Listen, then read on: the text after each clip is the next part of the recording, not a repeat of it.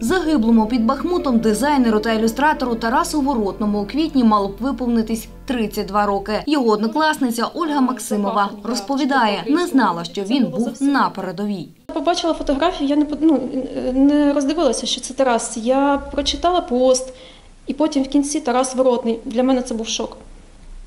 Так, дізнатися взагалі, що його більше немає. Він був іронічним інтелектуалом. Так про свого випускника згадує класна керівниця, вчителька української мови та літератури Запорізького січового колегіуму Людмила Чеховська. Розповідає, мама Тараса працювала у бібліотеці, тож книга була для нього невід'ємною частиною життя. От Тарас він якраз е, заперечував ем, е, таку особливість е, розуміння патріотизму. Можна одягти вишиванку і клястися, і бути ворогом, врешті-решт, тому що ця вишиванка символізує. А можна е, бути і в вишиванці, і без, але служити ідеї, служити своєму народові. Оце Тарас наш такий.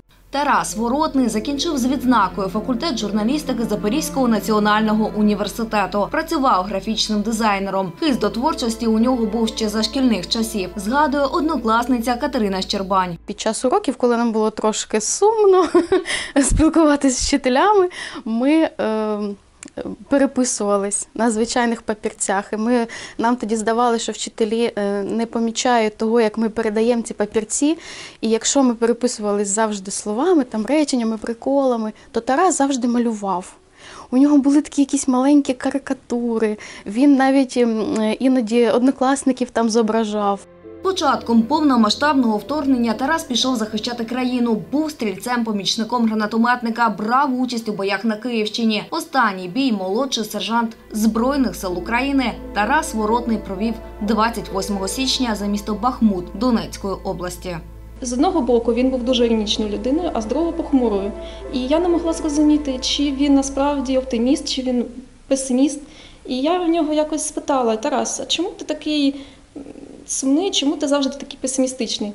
Він мені відповів, що світ прекрасний, життя погане. Я не зрозуміла, можливо, колись зрозумію, що він мав на увазі. Прощання з Тарасом Воротним відбудеться 9 лютого у Запоріжжі. Анна Черевата, Максим Савчук, Суспільне новини, Запоріжжя.